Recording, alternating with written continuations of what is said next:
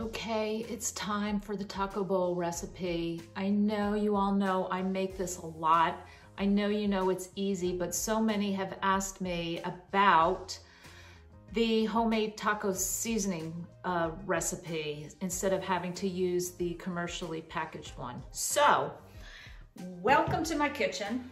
We're going to do from start to finish the taco bowl because I wanna do it without any cuts or edits because I wanna show you and anybody who actually hasn't made this yet, how really, really quick and easy this is. So um, I'm just going to gather my ingredients and we'll get started. One thing I wanna add before I really get started is at the end of this short video, I'm going to show you some really delicious, quick, easy versions of this. And I'm going to explain how uh, you can make a different version like a Greek version. And I have um, some Primal Palate uh, seasonings that I love. And you can see this one is called Superhero guess that's the way you pronounce it. A lot of people call them gyro, but um, this seasoning with the ground beef and throwing in feta cheese is spectacular. Um, then there's another uh, seasoning they have called French onion seasoning mix. And this really is just uh, the dehydrated onion, Himalayan pink salt, garlic, chives, and parsley, all organic. So I'll show you that one and um, there's a garden ranch and a garlic and herb. So with the garlic and herb, you can do a really, really delicious version where you put brie in with the ground beef and use the garlic herb. I mean, the sky's the limit on this, but um, if you have some really good quality uh, seasonings and the right cheese you want to pair it with, you'll see this is gonna be a game changer because it's so quick and simple, nutritious, delicious, and really inexpensive.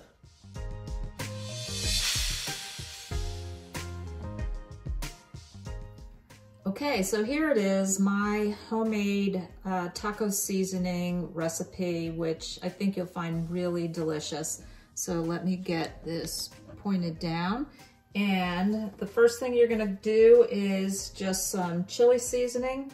And there's gonna be four tablespoons of chili powder.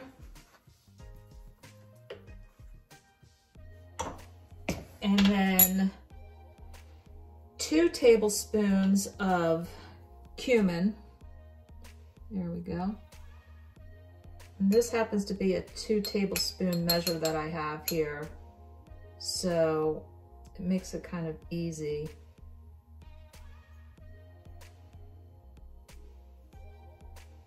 Okay, and then you're gonna do one tablespoon of paprika.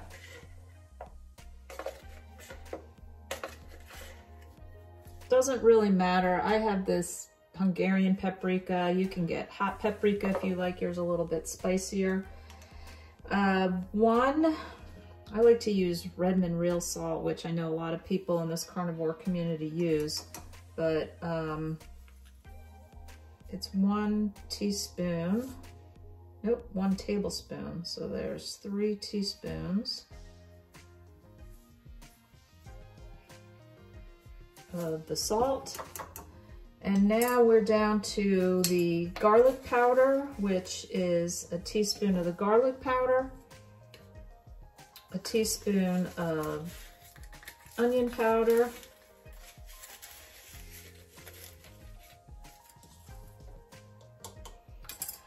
one teaspoon of oregano, and one teaspoon of black pepper. And that's really it. You're just gonna mix this up and I like to just pour it into, um, I, I keep like a empty spice container and just take a Sharpie and mark it taco and keep remaking the taco seasoning as needed. Now, if you don't want to go through the trouble of buying all these seasonings if you don't have it, or just going to the trouble of measuring it out and doing this, um, a great alternative is um, Primal Palate makes an organic pure spice taco seasoning mix and this this one's really good. So there's an alternative if you don't really feel like going to the trouble and um, prepping this up yourself.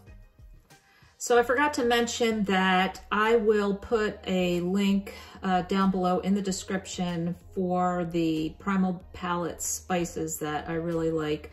Um, I'm going to demonstrate now the ranch um, dry spice recipe that I make that I love.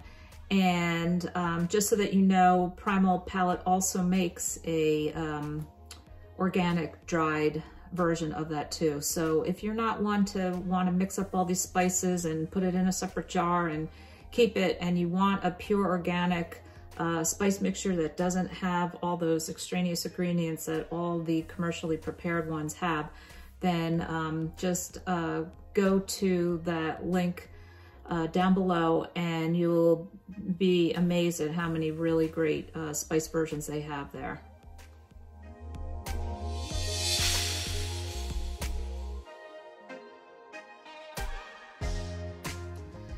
So like I just mentioned, I'm going to now demonstrate the uh, dry powder ranch dressing. I love to put this in my, let's call it my meatball instead of my taco bowl at this point because sometimes I'm just in the mood for maybe a different flavor than the taco and I love to use this ranch version and then just put in a different type of cheese. You can still put in the shredded sharp cheddar, but sometimes with the ranch, I like to use um, mozzarella or Colby Jack or maybe um, a little bit of a more um, milder cheese than the sharp cheddar. So um, I'm going to uh, explain with the ranch dressing, uh, I put in it this, if you can see, it's a heavy cream powder and I get this, I have a link to that also below, um, makes it really easy and um, the reason for this is just that I add it into this ranch dry dressing mix and then I can just put it right into my ground beef. Uh, and of course you can just eliminate this ingredient, do all the others, and then just add a little heavy cream as you're making it.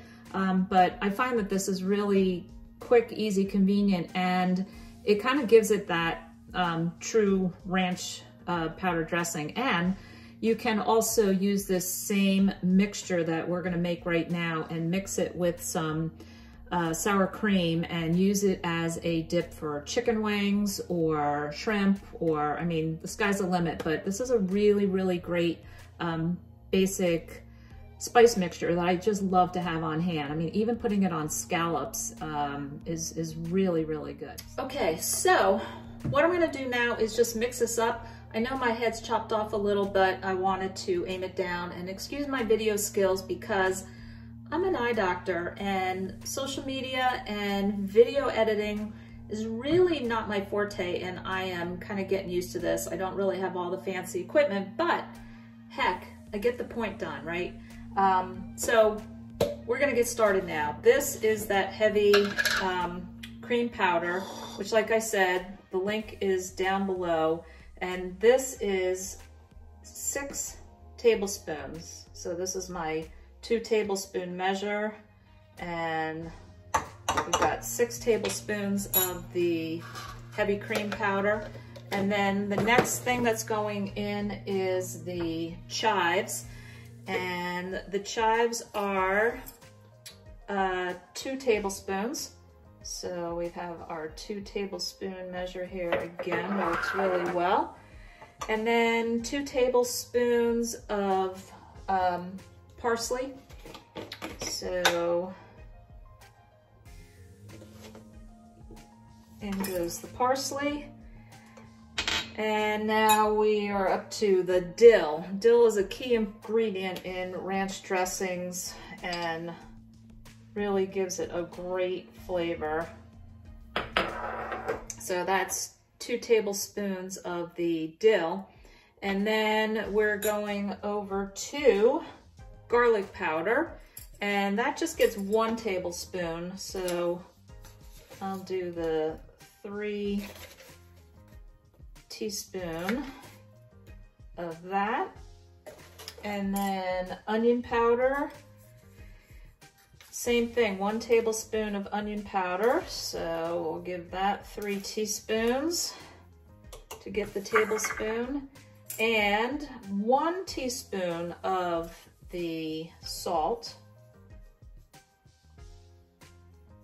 So now we've got a teaspoon of the salt and then the pepper. You can uh, fresh grind in uh, black pepper, that's fine. I tend to be lazy when I cook a little bit, even though, yeah, I'm going to the trouble of making this, but I really love um, the fresh seasonings and I, I really like making them myself, so I don't have any of those anti-caking ingredients and all that other stuff.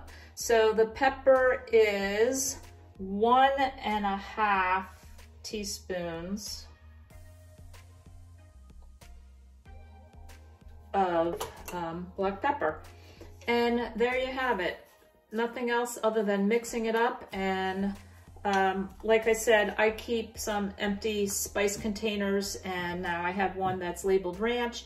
Uh, if this is now making more than your container, I just stick it in a Ziploc bag, write ranch on it, and then as my container empties, I just refill it. And it's just quick and simple and easy and I will uh, talk about the other recipes that you can use this with um, in other videos. So make it, enjoy it, and wait till you've tasted in the ground beef. It's really, really good. You're gonna love it.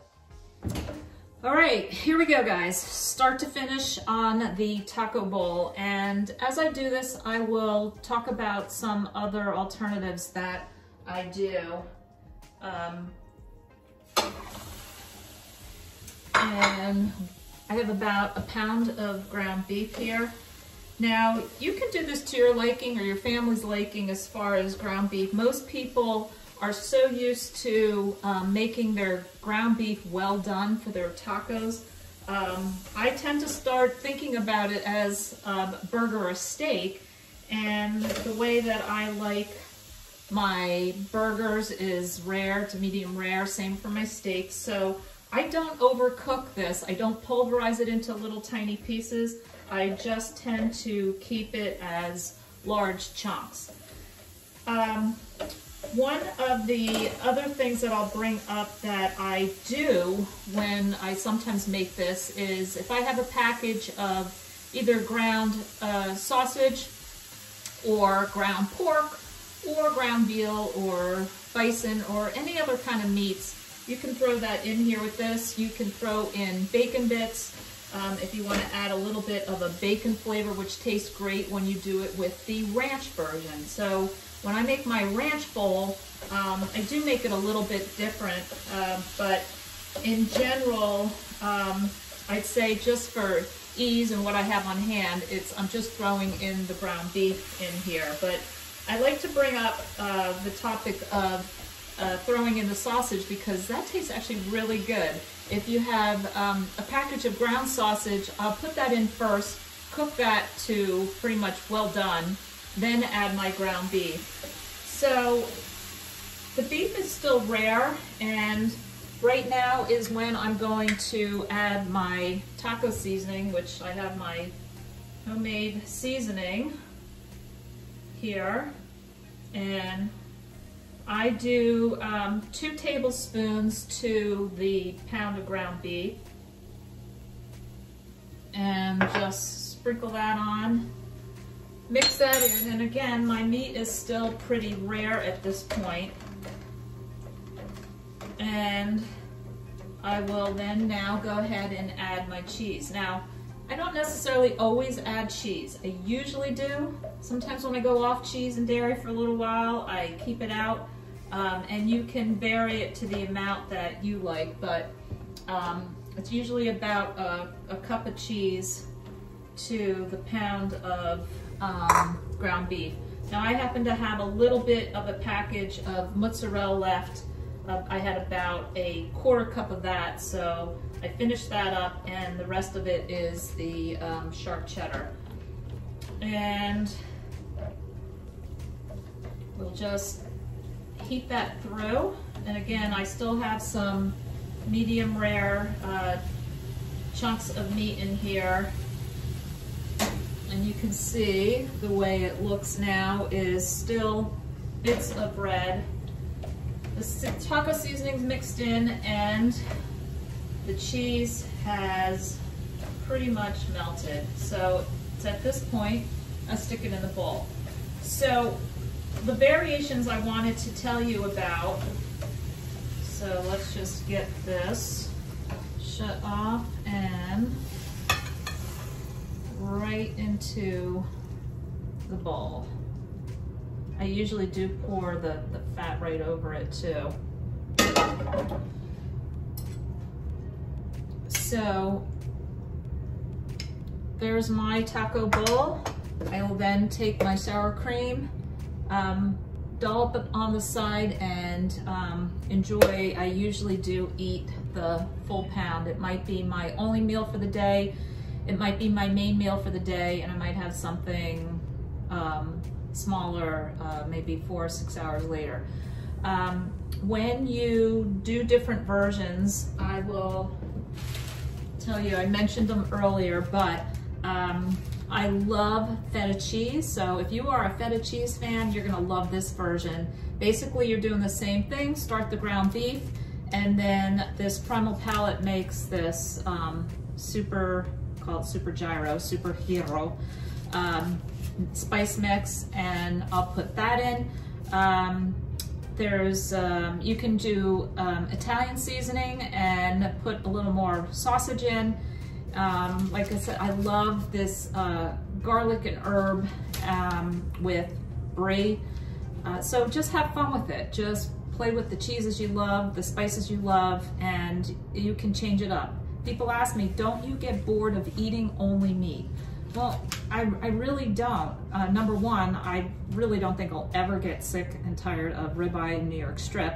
Um, and then I mix that up with ground beef or veal or sausage, sometimes chicken wings and scallops and shrimp.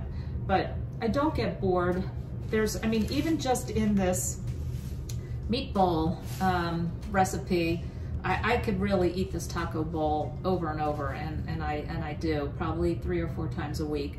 Um, and then mix it in with the with the with the gyro one, with uh, you can do a, a, French onion one with Gruyere cheese or Havarti. Um, the sky's the limit, guys. Just have fun with it, and um, just the the best part about it, it's really inexpensive because you're using ground beef and it's so quick and easy. You saw how fast I, I made that recipe. So have fun with it. I hope you enjoy this uh, recipe. And if you do, leave me a comment. Tell me the combination you did. Give me an idea. Um, I'd love to hear about it. Um, if you like this recipe and you want some more going forward, because I have a lot coming up, um, just click the subscribe button and hit that little bell. You get a notification every time a new one goes up.